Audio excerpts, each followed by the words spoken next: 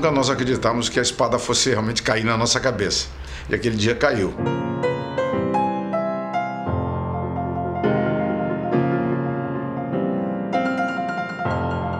Essa proibição lamentável acabou resultando com uma coisa que eu acho que é muito positiva, ou que foi na época muito positiva para a televisão, um jeito brasileiro de representar.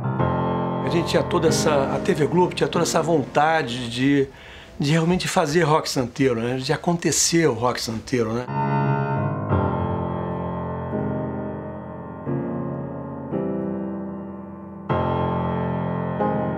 A novela Rock Santeiro é, teve para a televisão a mesma importância que o cinema novo teve para o cinema brasileiro. Você vai ao cinema para ver.